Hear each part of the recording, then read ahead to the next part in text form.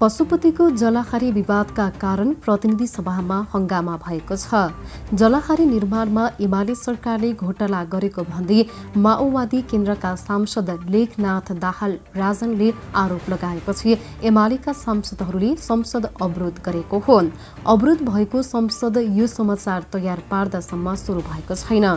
आगामी आर्थिक वर्षका लागि सरकारको नीति तथा कार्यक्रममाथि प्रतिनिधि सभामा भएको छलफलमा भाग लिँदै सांसद दाहालले गत जेठ दस गते यस्तो बताएका थिए। सरकारले आगामी आर्थिक वर्षको नीति तथा कार्यक्रम पारित गर्ने तयारी गरिरहेका दिन प्रतिनिधि सभाको बैठक सुरु हुने बित्तिकै एमाले सांसद पदम गिरीले सांसद दाहालको उक्त भनाइप्रति माफ माग्नुपर्ने र सरकारले उक्त विषयमा सत्य तथ्य जानकारी गराउनु पर्ने माग राखेका छन्। एमाले सांसदहरू वेल घेराउ र नाराबाजी गरेका थिए। नेकपा एमाले अध्यक्ष केपी शर्मा ओली प्रधानमन्त्री भएका बेला दुई हजार सतहत्तरमा पशुपतिनाथमा सुनको जलहरी राख्न तीस करोड रुपियाँ दिने घोषणा भएको थियो। त्यसपछि सुनको जलाहारी बनाउन थालियो। सुनको जलाहारी राख्ने काम पनि लगभग अन्तिमतिर पुगेको थियो। यो विषय विवाद बन्न थाल्यो। जलहरी राख्ने क्रममा भ्रष्टाचार भएको विषयमा समाचारहरू सार्वजनिक भइरहेका थिए।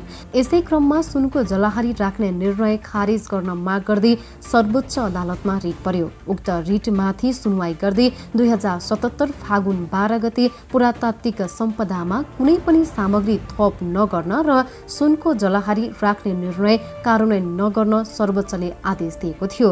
तर सर्वोच्चलाई व्यवस्था गर्दै तत्कालीन राष्ट्रपति विद्यादेवी भण्डारीले सोही दिन पशुपतिमा पुगेर जलाहारी राखेकी थिइन्। महालेखा परीक्षकको उन्साठी प्रतिवेदनले पशुपतिमा सुनको जलाहारीको विषयमा हिसाब किताब पारदर्शी नभएको उल्लेख गरेको छ। यो विषयमा छानबिन गर्न उसले सरकारले सुझाएको छ तर सरकारले यो विषयमा छानबिन गर्ने विषयलाई पन्छ्याउँदै आएको छ। नक्कली भुटानी शरणार्थी प्रकरणमा पक्राउ परेकाहरूको बयान लिन सुरु गरिएको छ। उक्त प्रकरणमा पक्राउ परेकाहरूलाई काठमाडौँ जिल्ला अदालत उपस्थित गराएर बयान लिन सुरु गरिएको हो।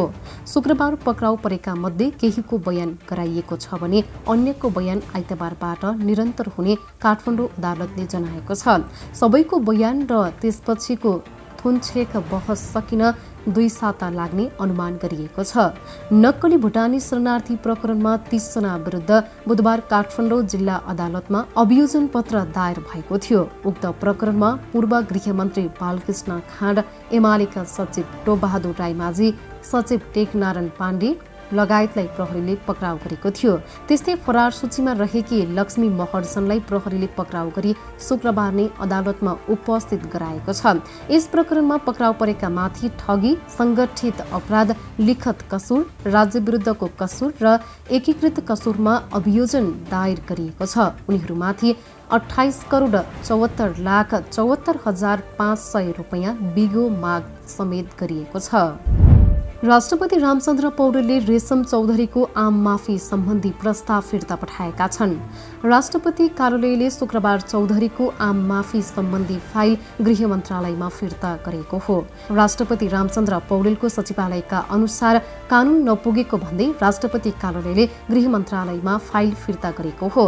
रेशम चौधरीको आम माफी सम्बन्धी प्रचलित कानून सर्वोच्चको फैसला सर्वोच्च अदालतद्वारा प्रतिपादित सिद्धान्त विपरीत नहुने गरी कानून गर्न भनेर राष्ट्रपति कार्यालयले गृह मन्त्रालयमा फाइल फिर्ता गरेको उनको सचिवालयले जनाएको छ। नेकपा माओवादी केन्द्रका अध्यक्ष तथा प्रधानमन्त्री पुष्पकमल दाहाल प्रचण्ड र तत्कालीन माओवादीका नेता तथा पूर्व प्रधानमन्त्री डाक्टर बाबुराम भट्टराई विरुद्ध युद्ध अपराधको मुद्दा चलाई कानूनी कारवाहीको दायरामा ल्याउन माग गर्दै सर्वोच्च अदालतमा निवेदन परेको छ। लेलिन विष्ट समितिले शुक्रबार प्रधानमन्त्री प्रचण्ड डाक्टर भट्टराई विरुद्ध युद्ध अपराधको मुद्दा चलाएर कानुनी कारवाहीको दायरामा ल्याउन माग गर्दै सर्वोच्च अदालतमा रिट निवेदन दिएका हुन्। आफूहरूले बालावस्थामा युद्धमा प्रयोग गरेको भन्दै प्रचण्ड र भट्टराई विरुद्ध युद्ध अपराधको मुद्दा चलाउनु पर्ने जिकिर रिट निवेदनमा गरेका छन्। प्रधानमन्त्री पुष्पकमल दाहाल प्रचण्डले अझै पनि संक्रमणकालीन न्यायलाई अवरुद्ध गर्ने कोसिस भइरहेको बताएका छन्। राष्ट्रिय मानवाधिकार आयोगको तेइसौँ वार्षिकोत्सव अवसरमा शुक्रबार काठमाडौँमा आयोजित कार्यक्रमलाई प्रधानमन्त्री प्रचण्डले शान्ति प्रक्रिया र विभिन्न उपलब्धि उट्याउन चाहने कतिपय शक्ति र व्यक्ति अहिले पनि संक्रमणकालीन न्यायलाई अवरुद्ध गर्ने कोसिस गरिरहेको बताएका हुन्। उनले शान्ति प्रक्रियाका बाँकी रहेको संक्रमणकालीन न्यायसँग सम्बन्धित विषय चाँडै टुङ्गोमा पुर्याउन राजनैतिक तहमा समझदारी भएको दावी गरेका छन्। नेपाली काङ्ग्रेसका सभापति शेरबहादुर देउबाली पार्टीको सूचना सञ्चार तथा प्रचार विभागको प्रमुखमा केन्द्रीय सदस्य मिन विश्वकर्मालाई मनोनयन गरेका छन्। पार्टी प्रवक्ता डाक्टर प्रकाश शरण महत अर्थमन्त्री बनेपछि सभापति देउबाले प्रचार विभाग प्रमुखमा विश्वकर्मालाई मनोनयन गरेका हुन्। काङ्ग्रेस पार्टी कार्यालयका मुख्य सचिव कृष्ण प्रसाद पौडेलका अनुसार सभापति देउबाले काङ्ग्रेसको विधान दुई हजार सत्र संशोधन सहितको धारा पच्चिस नौ र धारा सैतिस एक ग अनुसार विश्वकर्मालाई प्रचार विभाग प्रमुखमा मनोनयन गरिएको हो। बागमती प्रदेश सरकारका मुख्यमन्त्री शालिग्राम जमकट्टेलले सबैले आफ्नो जिम्मेवारी पूरा गर्न सके मानवाधिकार उल्लङ्घन नहुने बताएका छन्। राष्ट्रिय मानवाधिकार आयोगको तेइसौँ स्थापना दिवसका अवसरमा हेटौडामा आयोजित कार्यक्रमलाई सम्बोधन गर्दै उनले प्रदेश सरकारले क्षेत्राधिकारभित्र रहेर मानवाधिकारका विषयमा काम गरिरहेको जानकारी दिए। उनले व्यवस्था फेरि पनि जनताको अवस्था नफेरिएकामा चिन्ता व्यक्त गरे। अब वर्षाको समयमा सडककै कारण काठमाडौँ उपत्यकाको फोहोर बन्चरी डाँडा स्थित फोहोर मैला प्रशोधन केन्द्र लैजान नरोकिने भएको छ। विगतका वर्षहरूमा कच्ची सडक वर्षाको समयमा बिग्रदा उपत्यकाको फोहोर लैजान समस्या हुने गरेको थियो।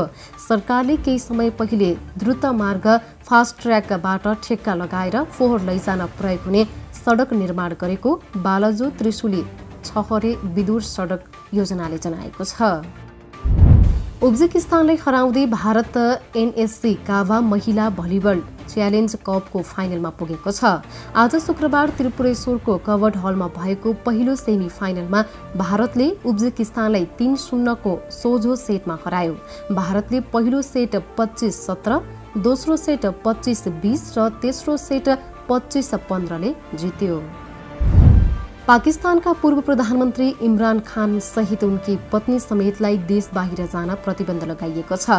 तहटिक ए इन्साफ पार्टीका अध्यक्ष समेत रहेका खान र उनकी पत्नी बुसारा बिबी सहित पिटिआईका अस्सीजना नेताहरूलाई देश बाहिर जान प्रतिबन्ध लगाइएको हो। पाकिस्तान सरकारले खान सहित छ सय जनालाई नो फ्लाइ लिस्टमा समावेश गर्दै सूचना जारी गरेको हो। खानमाथि आतंकवाद ऐन अन्तर्गत एक सय चालिसवटा मुद्दा लगाइएको छ।